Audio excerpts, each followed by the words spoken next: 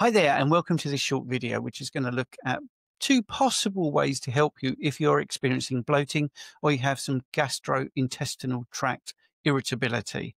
So, the first one is the migratory motor complex, something maybe you've heard of or maybe you haven't.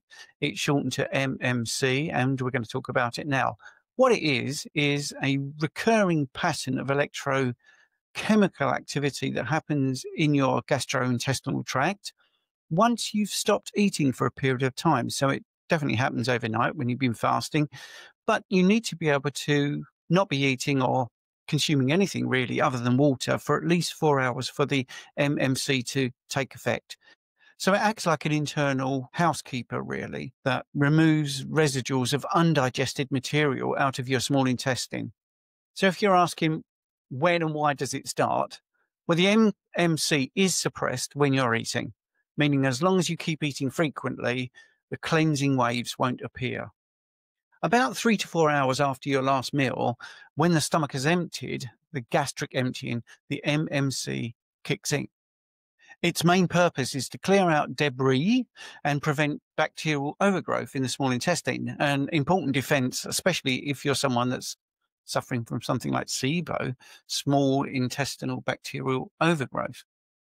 The MMC is regulated by enteric nerves and hormones, notably one called motilin, which is a large peptide. It's a peptide hormone, basically. And it's about every single 90 to 120 minutes during fasting, this cycle re- reoccurs. And what happens is it will increase the motility of your small intestine and increase the peristalsis, the waves. Its function is to sweep undigested food, dead cells, and bacteria down the GI tract towards the colon.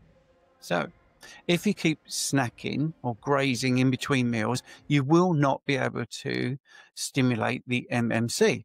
This is one of the key arguments of spacing out meals and avoiding constant grazing, especially for optimal gut health. So, in summary, the MMC is caused by motilin, which is a peptide hormone in the enterocytes, and it's only operating in the digestive periods where you're not actually eating anything or consuming any food or drink unless it's water. Water is okay. It removes all the food debris and prepares the small intestine and the stomach for the next meal. A small amount of gastric juice is also produced, which sweeps away any food debris that is remaining in the gut. So, how does the MMC get activated? Well, there is a peptide hormone called motilin. It's a 22 amino acid polypeptide and it's um, secreted by the enteric endocrine cells, not uh, M cells from the immune system, by the way. And this is what rises basically the longer your stomach and your small intestine is free from food. And once you get to about the four hour mark, then it really kicks in and moves the peristalsis along. And lots of undigested food debris is moved towards the colon. So the key to removing bloating, and discomfort in the GI tract might simply be to not eat once you've eaten and had something to drink for four hours. Just simple as that. Don't take anything else in and see how that goes.